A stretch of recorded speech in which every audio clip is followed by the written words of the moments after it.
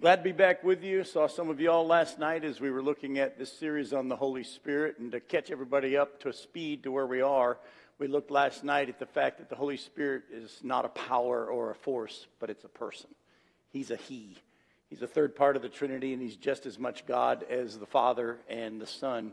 But we also looked at the fact that don't try to divide the Father, the Son, and the Holy Spirit because even though they have distinct roles, they're always working together in those roles we looked at the fact that when if you ask somebody who who created the world, the Bible says that God the Father in the beginning, God created the heavens and the earth. But then the next verse says the Spirit of God was hovering over the waters.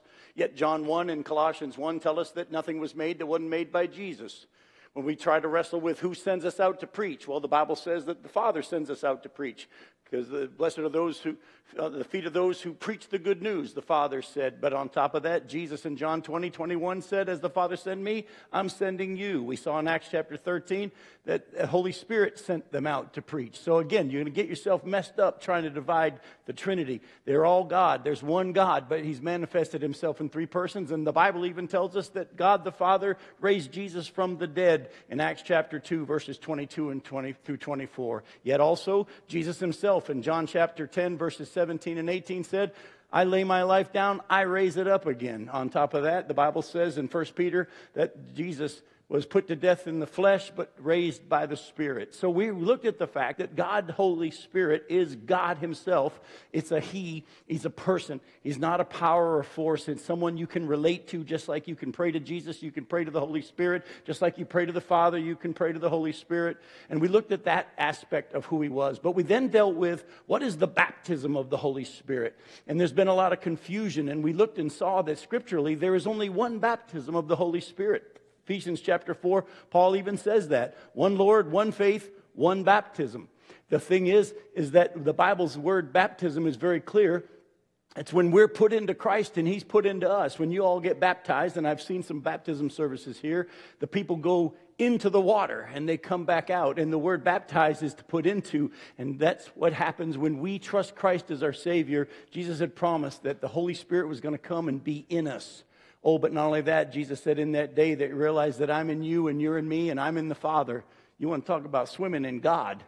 He, he's in us and we're in Him and He's in the Father. When you get saved, you are baptized, put into God, put into Jesus. He's put into you. You are swimming in God. And I jokingly told everybody last night that if you want your water baptism to be a real picture of your salvation, don't plug your nose and, open, and don't close your mouth. I mean, because He's in you, you're in Him I'm not recommending that because some of you might not survive it. But here's the deal. You, when you got saved, you got all of God you're ever going to get. You don't need another baptism. You don't need another experience where God comes upon you. Colossians chapter 2, verse 9 says that we, in Christ, the deity lives in bodily form, and you have been filled in him. 2 Peter chapter 1 verses 3 and following says his divine power has given us everything we need for life and godliness through a knowledge of him. Now we have to learn how to partake of the divine promises. So, if you're born again and you've been saved by faith in Jesus Christ, you've got all of God inside of you. The Father, the Son, the Holy Spirit all live within you right now. Now we then dealt with lastly last night at the fact that what does it mean to be filled with the Spirit? And that means that the Bible actually is talking about that's different from your baptism. Your baptism is when you get saved and He puts Himself into you and you into Him. But the filling is a daily, continual process of learning to let the God who lives within us have control. That's why the Bible says, be being filled with the Holy Spirit. Let the Spirit of God who's within you have control. And that's a process that we're going to learn over the years as we learn to grow in our knowledge of Him, believe His Word. As we were singing this morning, praise team, thank you for leading us in a tremendous time of worship. And as we were singing the words, I exalt thee, God began to speak to my heart and he said, Tell them this if they want to exalt me, tell them to believe me. That's, and I'm preaching to myself too, folks. We can easily say, Oh, God, you're awesome. Oh, God, you're wonderful. God, you're great. And he says, Then do what I say. Take me at my word. Jesus himself said, Why do you call me Lord, Lord, and not do what I say? And so I want to challenge you, and I'm challenging myself as well. We have God within us, we have so much available to us, promises in His Word, And he says, Believe me, do what I say, and you'll be blessed. What we're going to deal with this morning, though, is we're going to deal with the fact that the Holy Spirit not only lives within us, He not only has baptized us, the Holy Spirit has not only wanting to fill us and control us on a daily basis, He has also chosen what our role will be in the church and how he wants to use us in this world. And he's predetermined what our gifts are going to be. And I'm going to show you through scripture tonight. He's not only predetermined what your gifts are going to be, he's also predetermined where and when and how he wants you to use them. And he's also the one that's going to be empowering you to do the things that he has in mind. And so we're going got a lot to cover. So grab your Bibles and turn to 1 Corinthians chapter 12. 1 Corinthians chapter 12, we're going to look at verses 1 through 11 this morning. I'm going to read this passage and we'll pray and we're going to jump into it. You say, we hadn't jumped into it yet? Not even close.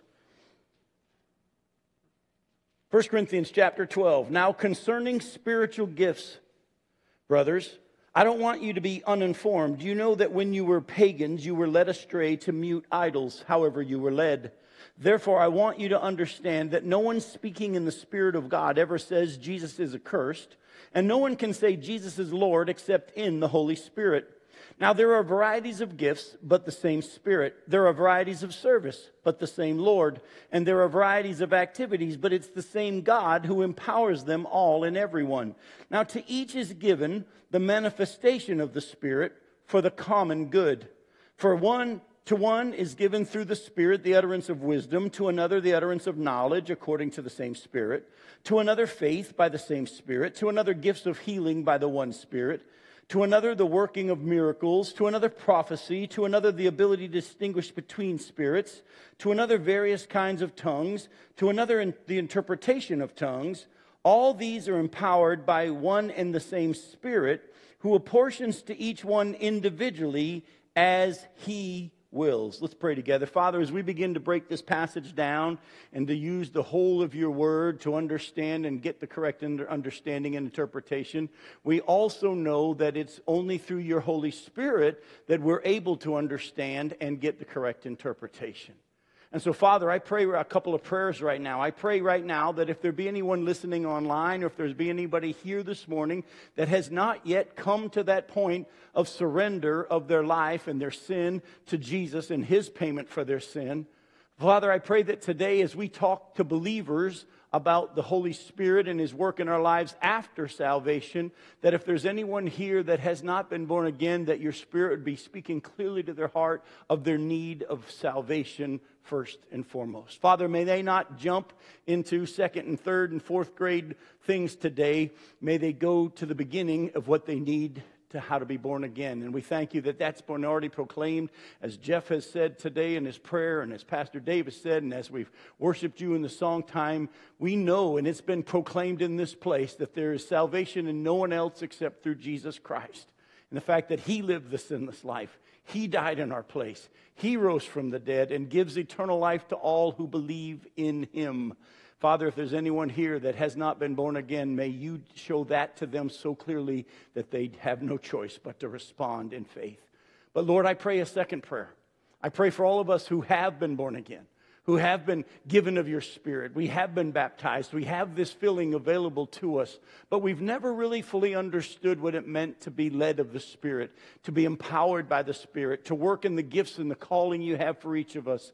Father, I pray that what you have in mind for each of us would become clear, not only a little bit more this morning, but also in time as we continue to get more involved in each other's lives as we actually don't forsake the assembling of ourselves together, but actually do it all the more as we see the day approaching. That you would use your purposes to accomplish good in each one's lives and for the kingdom of God. And so, Lord, I know that what we're covering today is big and important and more than I'm able to communicate to everyone in this room and those who are listening online. But I thank you that all you ask of me is to be empowered and yielded to your spirit, empowered by your spirit and yielded to your spirit. And I thank you for the fact that you are going to do through me the things you've called me to do and gifted me to do. And I thank you that I get to live out what I'm going to preach today and you get the glory. We pray this in Jesus' name. Amen. Now, before we dive into spiritual gifts, we have to deal with the beginning of this chapter. Look closely at what Paul says. He says, Now concerning spiritual gifts. If you know anything about the book of 1 Corinthians, you'll know that Paul has been dealing with some issues in the church in Corinth. He actually has had to begin in chapter one with the fact that they were all fighting over who they thought was the best pastor or preacher or teacher of the Word of God. I follow Paul, I follow Apollos, I follow Cephas, which is Peter, and I follow Christ. And he's had to deal with the fact that there are divisions in the church. In chapter seven, he's actually answering questions that had to do with sexual purity and whether you should be married or single and all those things. And he actually writes a very similar introduction in chapter seven. He says, Now concerning the matters you wrote to me about. And if you look closely, you'll see that he's most likely dealing with a problem that has arisen in the church in Corinth. And he says, now concerning spiritual gifts. Actually, if you have a study Bible, you might have a little note next to that word, spiritual gifts. And your study Bible might point out that it also could be translated spiritual persons. You see, what Paul was dealing with in the church in Corinth was that there were individuals in the church who actually were claiming to be spiritual and they were causing problems in the church.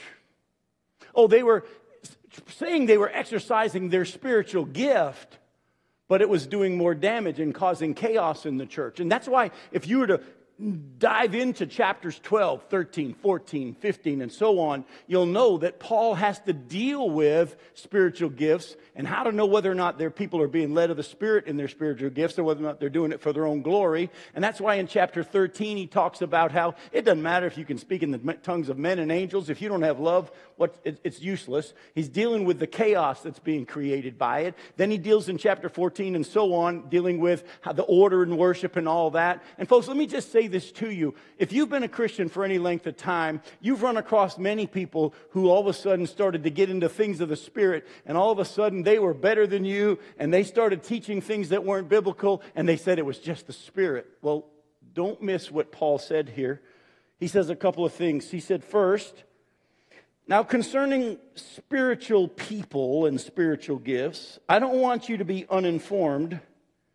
You know that when you were pagans, you were led astray to mute idols, however you were led. In other words, what he says to him was, before you got saved, you Corinthians got to remember you used to do some wacky stuff. You used to worship gods that aren't even gods. So before I go into this, humble yourself and acknowledge you are susceptible to wrong teaching. All right? And then he says, and no one speaking by the Spirit of God can say Jesus is accursed, and no one can say Jesus is Lord except by by the Holy Spirit. In other words, you're going to have evidence as to whether or not this person really is spiritual and whether or not the Spirit of God's really working through them with whether or not what they do and what they say lines up with the truth or whether or not it doesn't. If it doesn't line up with the truth, I don't care how spiritual they say they are. I don't care how much they say they're from God. It doesn't, it's not from God. And if it is from God, it'll line up with His truth. And then he said this God has given the spiritual gifts for what? Let's take a look at it. He says there are varieties of gifts, but the same Spirit, varieties of service, but the same Lord, varieties of activities, but the same God who empowers them all and everyone. And to each is given the manifestation of the Spirit for what? For the common good. Listen closely before we start diving into this. If you say what you're doing is a spiritual gift, but you say it's a private thing between you and God, it's not a spiritual gift. Did you hear that? The spiritual gifts have been given for the common good. There's lots of people that have taken the misunderstanding of what tongues actually is in the Bible, and I don't have time today to dive into that topic. And I'm sorry if, you're going to be a little disappointed, but I'm not going to even break down all the gifts that he lists here. We're going to go into a different direction. But let me just say this to you. If they say, well, this is from God and it's between me and God, all well and good, it's not a spiritual gift because spiritual gifts are for the common good. Oh, and by the way, spiritual gifts aren't given to us so that we'll look impressive in front of other people. And a lot of people try to become spiritual because they want people to be impressed with them. No, spiritual gifts are given to us for the building up of the body and to encourage and to build each other up. And it's really more about God getting the glory than us. And so there's all different types of gifts, there's all different types of service, there's all different kinds of activities, and the Holy Spirit the Lord Jesus and the Father are involved in all of that. Now, he then goes into a listing of gifts in the next verses. I'm not going to get into those today because we don't have time to break them all down. This isn't the only list, there's other lists in Romans 12. We're going to look at a couple today. But again, we're not going to break them down. But look at what he says in verse 11. He said, All of these different gifts are empowered by one and the same Spirit, Holy Spirit who apportions to each one individually as he wills. When you got saved, you not only got the Holy Spirit to come and dwell you, when the Holy Spirit came to indwell you, he also, when he came in, gave you spiritual gifts, gift or gifts, that he wants to use now in and through you. Go to Ephesians chapter 2. Go to Ephesians chapter 2. You all could probably quote to me verses 8 and 9. But I want you to look closely at verse 10. We're going to look at verses 8 and 9, but I want you to look at verse 10. Ephesians 2, verses 8 and 9. For by grace you have been saved through faith, and this is not your own doing, it's the gift of God, not as a result of works, so that no one may boast. For we are his workmanship, created in Christ Jesus for good works, which God prepared beforehand that we should walk in them. The Bible says that God didn't just save you, He now wants to use you to increase the kingdom. To have other people know about Jesus, have other people come to salvation, to actually encourage those of us who have been saved and have, have come into the kingdom, but to help each other grow in our relationship. And He's put us all together with different gifts and different roles. So the first thing I want you to grasp is this God, when He saved you, not only gave you His Holy Spirit to seal you as a deposit guaranteeing your inheritance, He's also given you gift, a gift or gifts that He wants to use for His purposes to build up the body and to help increase the kingdom. Here's the second thing I want you to grasp from what we're looking at today. He not only has chosen what gift you have or gifts you have, He's also predetermined how, when, and where He wants you to use them.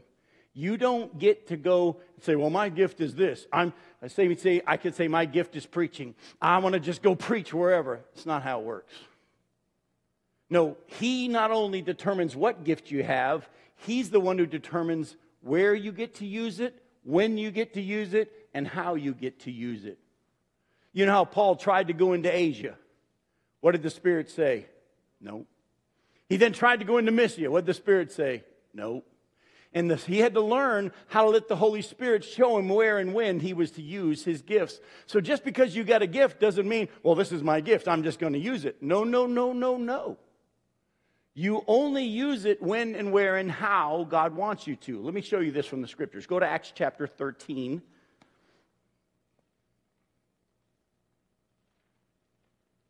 Look at verses 1 through 3. Now, they were in the church at Antioch. There were prophets and teachers. Remember, God determined some are prophets, some are teachers, some are evangelists, some are pastors. Barnabas was one of them. Simeon, who was also called Niger. Lucius of Cyrene. Manaen, who was a lifelong friend of Herod the Tetrarch. And Saul. So here we have five guys that are listed as elders in the church there in Antioch. And we know a couple of them. Barnabas, he's pretty cool. And Saul, we, he, we know him as Paul. But look at what happens.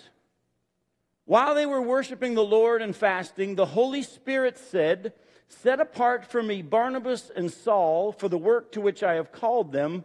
Then, after fasting and praying, they laid their hands on them and sent them off.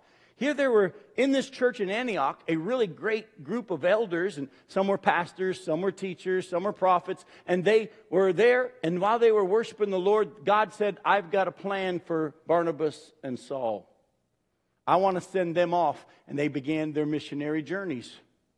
I've often jokingly thought that that church there in Antioch probably wasn't too excited to hear about that. I mean, God took the best two that we would pick. When we'd think those are the best two. I mean, Barnabas and Paul, I mean, those are the two ones. I can almost see the church members going, take Lucius. Don't take those guys. But you know what? He had already determined that even though they were in this church, he had a specific plan that he had for them, and they sent them off. Go to Acts chapter 9.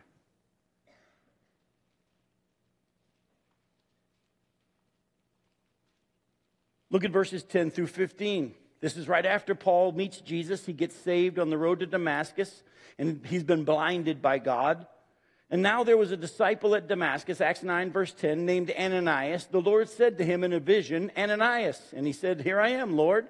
And the Lord said to him, Rise and go to the street called Straight, and at the house of Judas, look for a man of Tarsus named Saul. For behold, he's praying, and he has, been, he has seen in a vision a man named Ananias come in and lay hands on him so that he might regain his sight.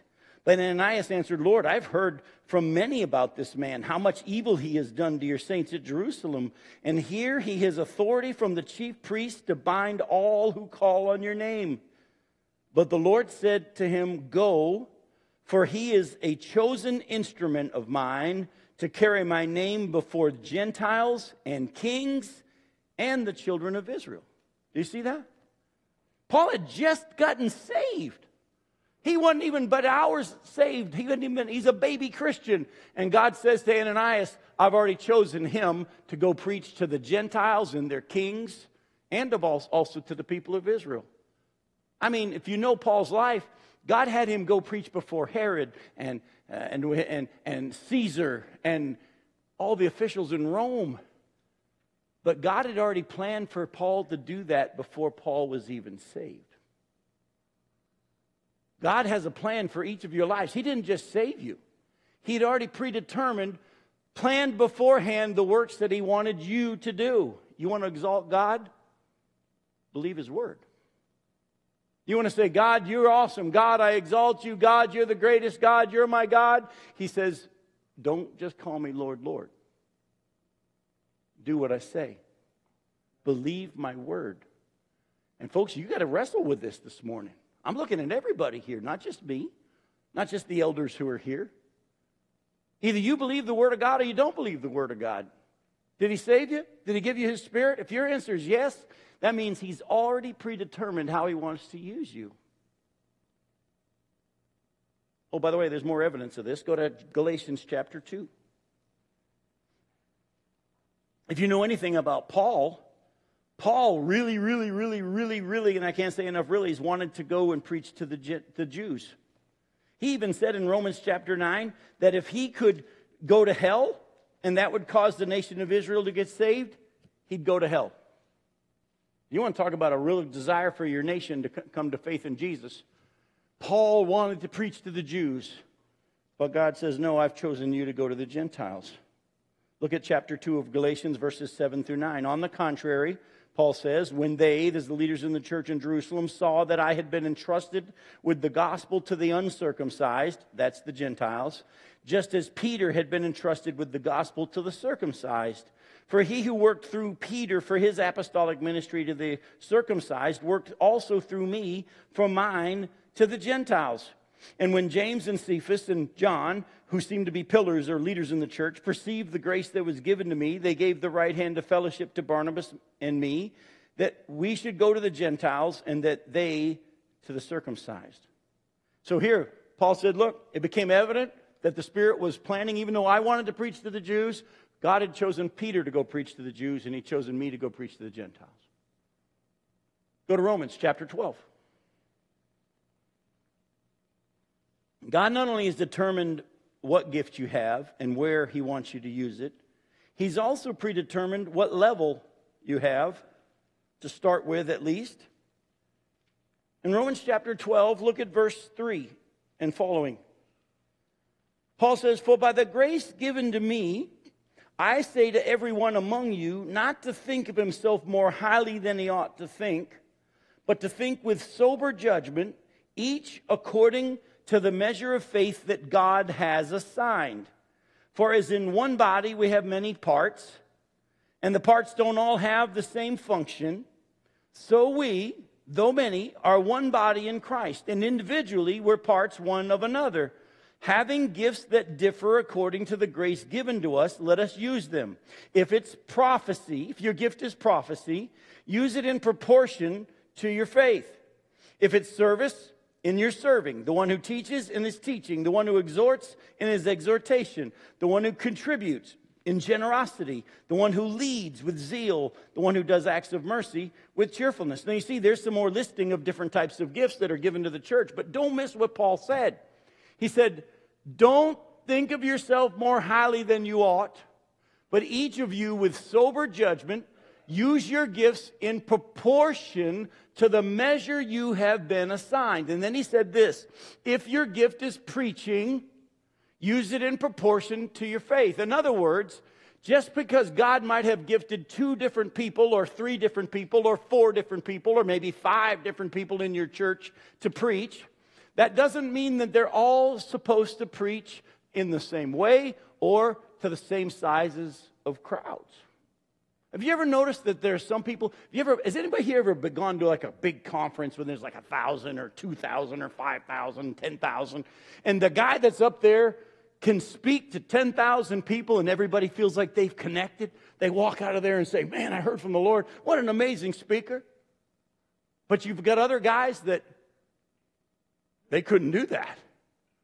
But you know what? Years ago, I was uh, preaching at a church over in the west coast of Florida. And this pastor's now in heaven. He unfortunately passed uh, uh, from cancer, but and not unfortunately, he's with the Lord. So I guess you can say that's a good thing in one sense. But he actually was a pastor of a church. He'd been an associate pastor for a lot of years. But the church kept saying, When are you going to be the real pastor? When are you going to be the senior pastor? Well, not understanding things, he actually went and became senior pastor. And to be honest, he was a wonderful shepherd. He loved people, wasn't the best preacher. But one day I went and preached at his church because he and I had a great relationship and I'd speak regularly at that church. And I sat in on a class he was doing on Sunday evening, right before the evening service. He was teaching a 101 class of, for new believers and people that were curious about the faith. And there were probably five or ten people in that little classroom, and he was teaching them who is God, who is Jesus, and the basics of the faith, just the basic 101 level. And I sat there just blown away by how gifted he was. I got to be honest with you, I sat there thinking, I couldn't do what he's doing. If I went in and tried to teach brand new believers, I'd blow their heads. Because the gift that God's given me and how He's called and gifted me to preach is to equip people that know the Word a little bit at least and to take you deeper and to show you the whole of Scripture and to feed you with the Word of God. I would have killed them. But this guy was so gifted. And when he started to realize, I'm not supposed to be the preacher of the big church, I'm gifted to teach in small groups. You might be taught to preach but you're sitting there thinking, I, I, couldn't do what Pastor Dave does. I couldn't stand up in front of all these people. Well, maybe you're not supposed to. Maybe you're supposed to teach a class. Maybe you're supposed to be a part of a Bible study. If it is God's plan to have you move up, you'll find that out in time. Folks, let me say something to you. I was going to do this near the end of the message. I feel like I'm supposed to do it now. Don't, you don't have to take a spiritual gift test to find out what your gift is. Doesn't the Bible say that the Holy Spirit will lead us and teach us and guide us and speak to us? Then why did we have to take a spiritual gift test to try to guess what our gifts are? Let me listen very closely. You want to find out what your gifts are? Get involved in the life of the church. Go to the Sunday school class. Go to the Bible study. Go to the Wednesday night program. Go to the, the, men's group. Go to the women's retreat. Get involved in the life of the church. They're doing a fun day. They're doing a Bible study. Just go. And as you get involved in the life of the church, your gifts will become evident to you and to the people around you. You know how I ended up standing here in front of you today? It's because I went to Sunday school. I went to Sunday school at Lockmar Baptist Church as a teenager.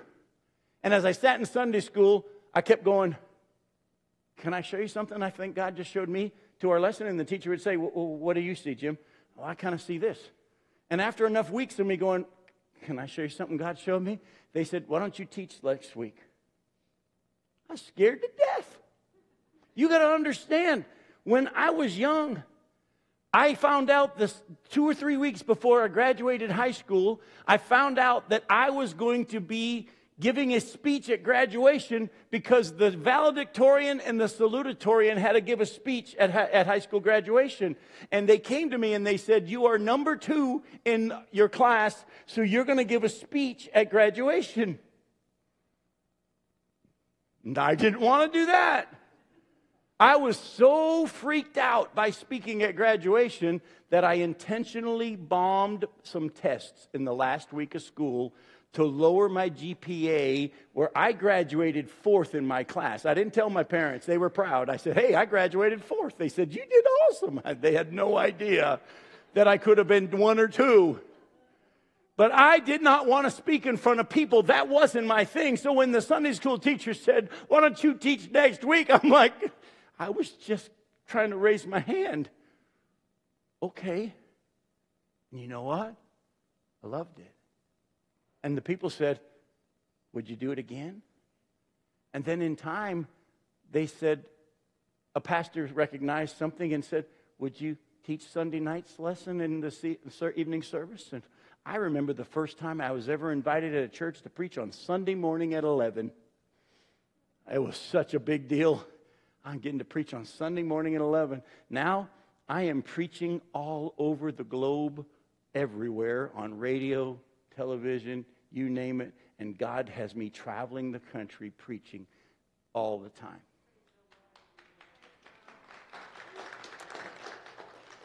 He wants to do that in your life too. But you've got to be willing to believe that He has a plan and a purpose. Too many people try to go and become the preacher at 11 instead of being willing to start where you are. Don't think of yourself more highly than you ought. But if your gift is giving, give a little bit. Give a little bit more. If your gift is teaching, teach. If its gift is serving, serve. If your gift is whatever. And the Bible's real clear that we are to do the works that he had prepared in advance for us to do. And like I said, if you get involved in the life of the church, it'll become evident to you in time and it'll be evident to the people around you what your gifts are. Oh, and by the way, if someone says, Well, I don't see it, if your eyes are on the Lord, you don't care.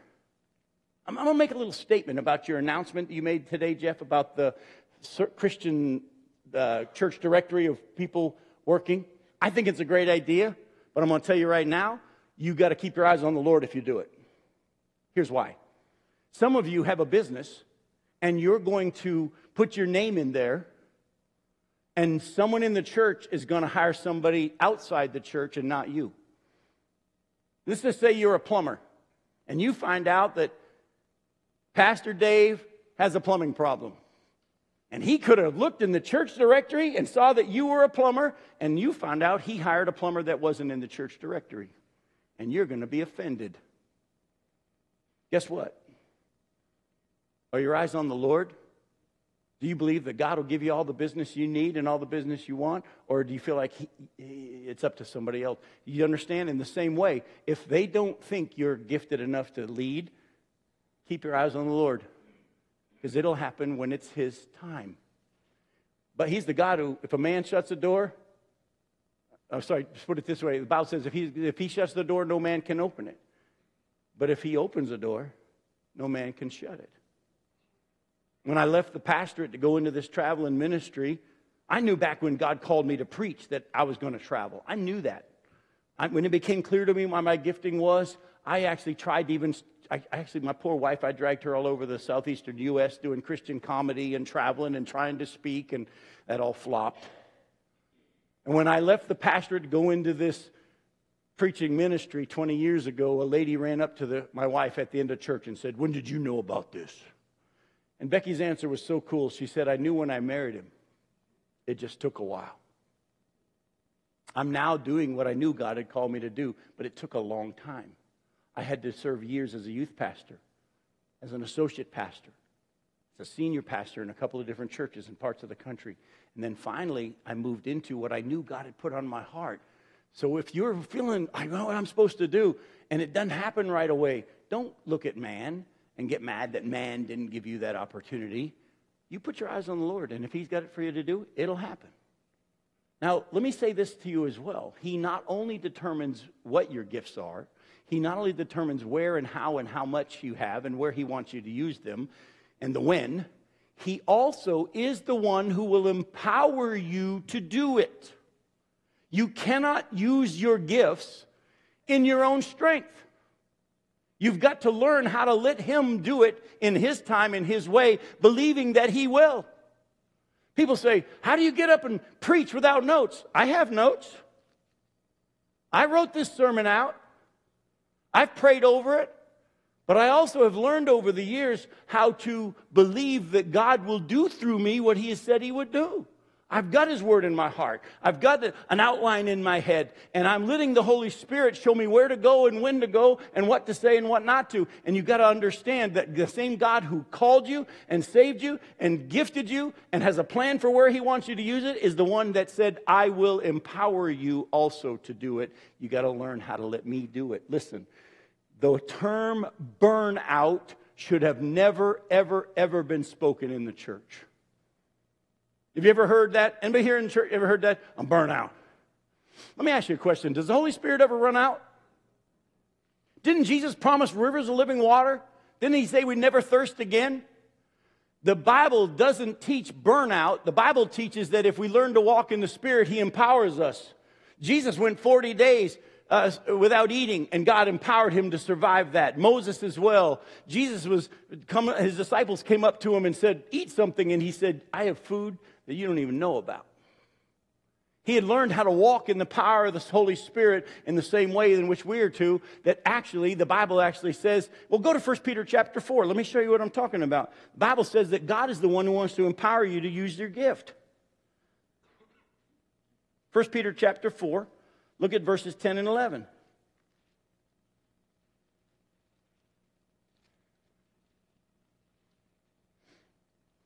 As each has received a gift, use it to serve one another as good stewards of God's varied grace.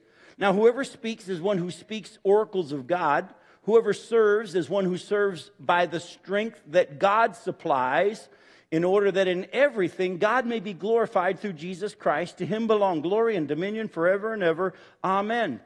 If your attitude is, well, I was doing what God has been doing in the church, but nobody else helped me, or you doing it for their approval and their applaud, or are you doing it for the Lord and we're doing it by the strength that He provided? If no one else helps you, you'll be fine.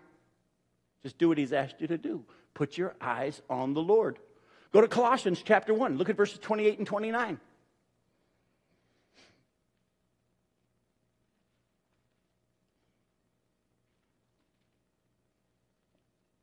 Paul says this Him, Jesus, we proclaim, warning everyone and teaching everyone with all wisdom, that we may present everyone mature in Christ. For this I toil, struggling with all His energy that He powerfully works within me.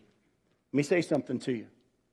If you're feeling burnt out serving the Lord, you're either one, doing something He didn't call you or gift you to do, or two, you're doing what he's asked you to do, but you're doing it in your strength and not his.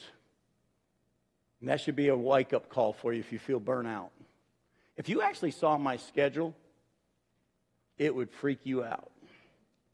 Because I'm not only traveling and speaking all over the country every week, I'm also teaching a regular Bible study where I go verse by verse through books of the Bible. They're available on our website. You can go tune into them. There's live streams, there's a YouTube channel. I'm literally preaching when I'm home in back in my area. I'm preaching 5 times a week in my own area, not not counting the 6-day a week radio program that I also have.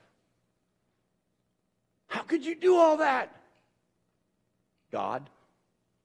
It's what he's gifted me to do, and I've learned how to do it in the power of the Spirit and I love it. It's fun.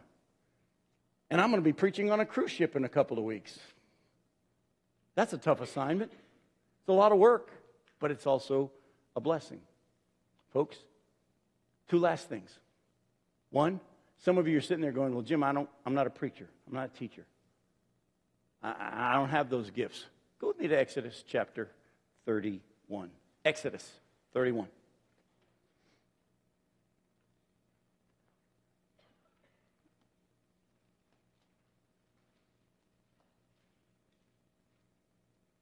Look at verses 1 through 6.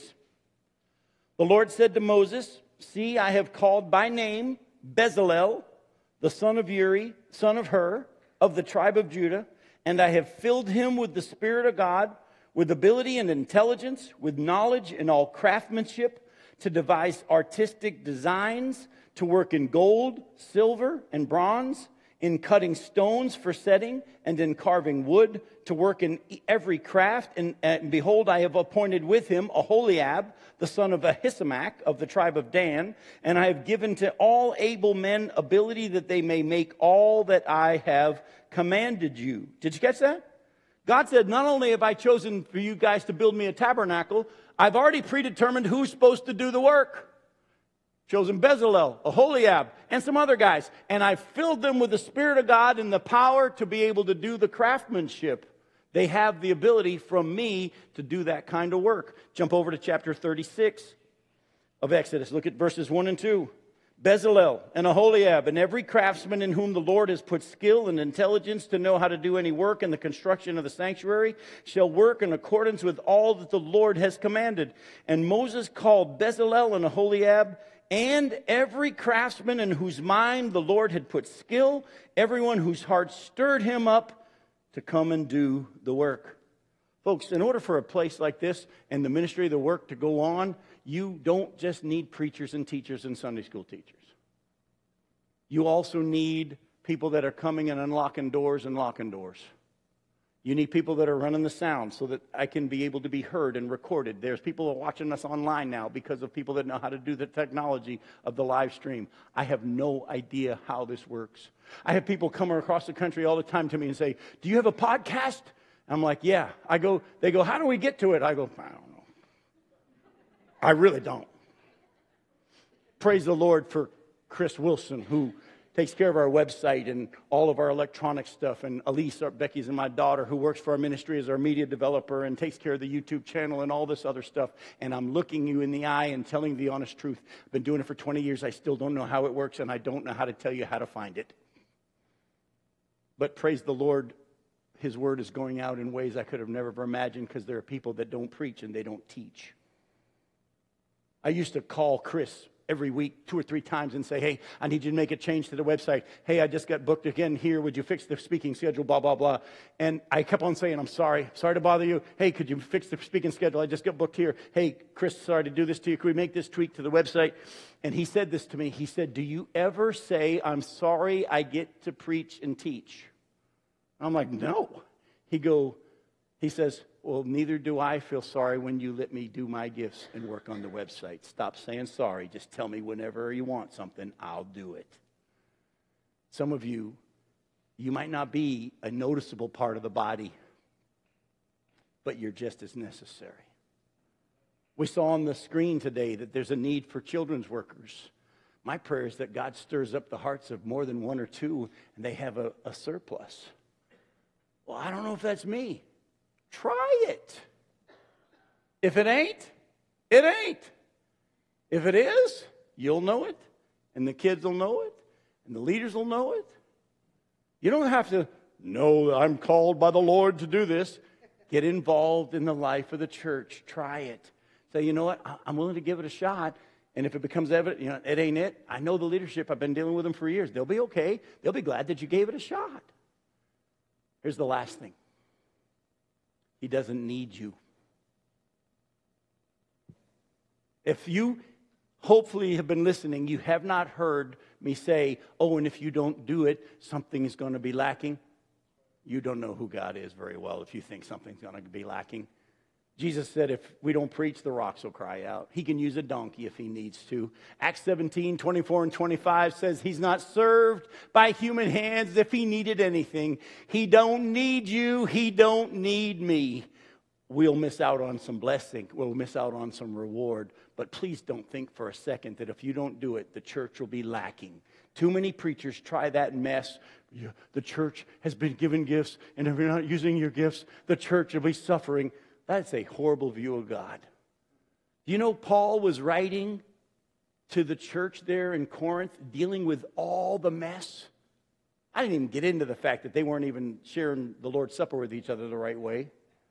I didn't even get into the fact that there was a guy there in the church who the church was okay with, who was having sex with his father's wife. By the way, you ever heard people say, we need to go back to the days of the early church and how they did it in the days of the early church? And I say, do you read your Bible? The early church was as messed up as us. Most of those churches we see in the book of Revelation don't even, they don't exist anymore. But we're going to close in 1 Corinthians chapter 1. Listen to what Paul says to this messed up church that had people claiming to be spiritual who were causing chaos, fighting over preachers, approving of sexual sin that wasn't approvable, not taking the Lord's Supper correctly so much that some were sick and some were dead. Listen to what Paul says to this church. Paul, verse 1 of 1 Corinthians, called by the will of God to be an apostle of Jesus Christ, and to our brother Sosthenes to the church of God that is in Corinth and those sanctified in Christ Jesus, called to be saints together with all those who in every place call upon the name of our Lord Jesus Christ, both their Lord and ours. Grace to you and peace from God our Father and the Lord Jesus Christ. I give thanks to my God always for you because of the grace of God that was given to you in Christ Jesus, that in every way you were enriched in him in all speech and all knowledge, even as the testimony about Christ was confirmed among you, so that you are not lacking in any gift as you wait for the revealing of our Lord Jesus Christ. Did you catch that? This church was a mess. They had a lot of problems. But he also could look them in the eye and say, It's all right as you grow in the relationship with the Lord and your knowledge of Him, He'll work on these areas. And you have everything you need already. So, folks, let me pray for you. Father, I thank you for that. I've had this privilege of being able to come and to share this series this weekend and this message, especially this morning, with the folks here. Lord, I thank you that for, as Dave and I were talking, we've had this privilege of this relationship for probably 16 years now. I thank you that when I show up, there's a smile and I can recognize right away that we just have a love for each other that has been developed over the years. And Lord, I thank you that as I'm standing here today, I have seen growth over the years, not just numerically, because that's not the issue as much as spiritually. And Lord, I thank you for what you're doing. I thank you for the fact that you are at work. And I pray now that we would exalt you by believing what your word says. Lord, some of us might need to take baby steps, but we need to get plugged in. Lord, keep the leadership from trying to use guilt and shame and pressure. May we believe, all of us, the leadership as well as the individuals, in a big God who has a plan and will accomplish everything that he sets out to accomplish. And Lord, may we grow in our love for each other in the process. Because that's why Paul went from this whole chapter on spiritual gifts right into chapter 13, where he taught them really the most important thing is love. And so, Father, may that happen in this place. May a growth of love occur even more. I thank you for the way in which I've seen people just enjoy being together ahead of time and after services, just talking and spending time together. Lord, thank you for the work that you're doing for your kingdom and your glory here at Momentum. And until Jesus comes, may it continue for your glory. We pray this in Jesus' name.